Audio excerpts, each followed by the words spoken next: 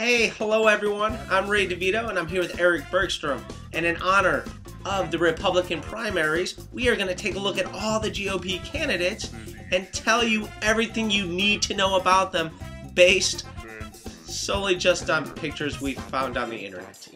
An elephant never forgets to be boring. Wow, look at the tears on his daughter's face. She is not enjoying this child auction. He's closer to that microphone than he's ever been to his daughter. If he can show this much neglect to just one child standing next to him, imagine how much neglect he can show for all America. I'd cry too if my parents made me dress like I was in a little house on the prairie. She looks like the world's saddest time traveler. Whoa, why is he waving a firearm at a public rally? Is that. Are you allowed to just whip out a firearm? That guy needs a laser pointer. Yeah, yeah, yeah. Uh, I have no idea what your policies are, but I'm going to agree with them because you're waving a firearm at me.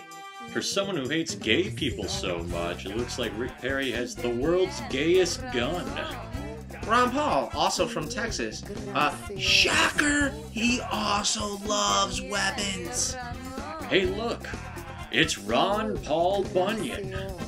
Back in my day, this is how we treated the gays. He looks like Ty Cobb, just slightly more racist. Michele Bachmann, whoa, she is intense. About what?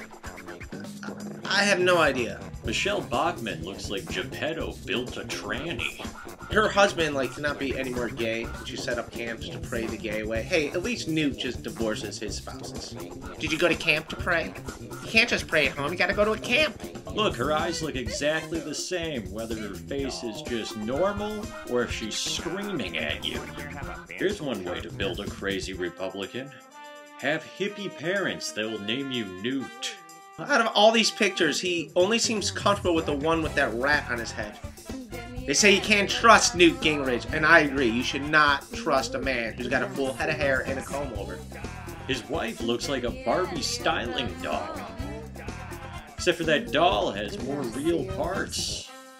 Newt Gingrich says that he wants to relive the glory days of the Clinton years. That's like saying to everyone, hey, remember Saved by the Bell? That cool guy Zach Morris? Well, let's relive those days with Principal Belding.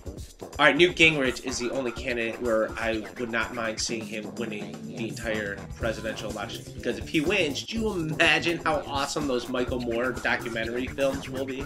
Wow, look how comfortable everybody is around Mitt. Everybody's happy to see Mitt Romney. It looks like he's trying to get the Siberian death camp vote. I admit, I hope Mitt Romney does win the nomination. I don't know what it is. Uh, maybe it's my fascination with those Mormon magical underpants. I, I, am very curious about the magical underpants. Maybe it's because I always wear thermal shirts too. Look at that! They look like the world's worst superheroes. Look, it's Baggy Long Underwear Man. And Baggy Long Underwear Man's sad indentured wife. What is that, a sack of loose almonds? Look at this! It's pictures of the candidates filleting things. Yay! Rick Perry, I, I, gotta say, Rick Perry does it the best here. He he's doing it like it is his job. Like, all right, I'll do it for America. I really. I like that Michele Bachmann looks like she's enjoying this the least. Can she pray the corn dog away? Yay! Look at Rick Santorum. Looks like looks like so innocent. He reminds you of your like your first girlfriend when you're like 17 and she's like. Uh-huh, uh-huh.